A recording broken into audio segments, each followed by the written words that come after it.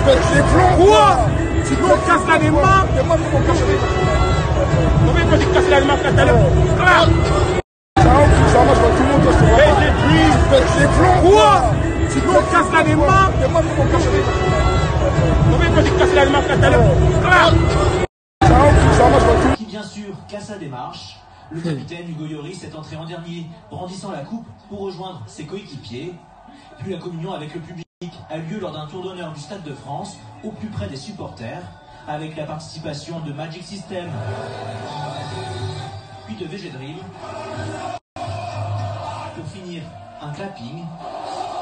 La du 16 juillet est oubliée. Cette fois, la célébration a eu lieu sans faussement.